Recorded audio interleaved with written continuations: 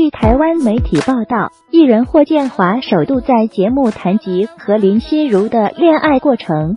他近日接受《鲁豫有约》专访，霍建华二零零五年和林心如合作《地下铁箱》时，坦言刚开始就已经有感觉，因为是很好的朋友，所以我不想捅破，担心连朋友都做不了。认识十年以来，和对方好的就像哥们一样。我没有几个朋友，说真的，他如果不约我，基本上就不约。没有几个朋友约我的，就不想失去。他一直等到事业成功后才表达心意。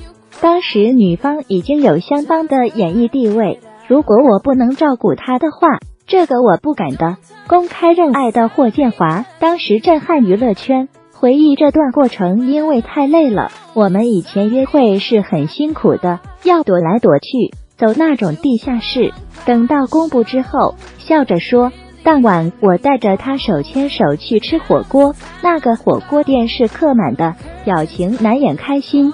那时候也算是挺风头浪尖的，但我觉得男人嘛，想做什么就做，一番真心话当场让主持人鲁豫眼泛泪光。